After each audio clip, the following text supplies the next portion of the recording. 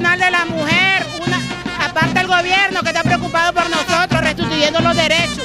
Que vivan las mujeres porque es el único gobierno que nos ha dado el espacio político y en todas las instituciones. Somos al doble, nuestro gobierno nos ha dado la restitución de derechos, nos ha dado los espacios que nunca se nos había dado, como mujeres y como juventud.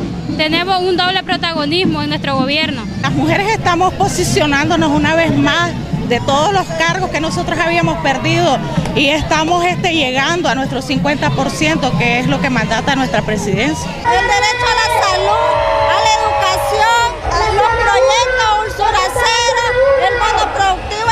Tantas victorias, logros alcanzados gracias a la revolución, al Frente Sandinista, claras y convencidas de que debemos de comprometernos todos los días, las mujeres, ¿verdad?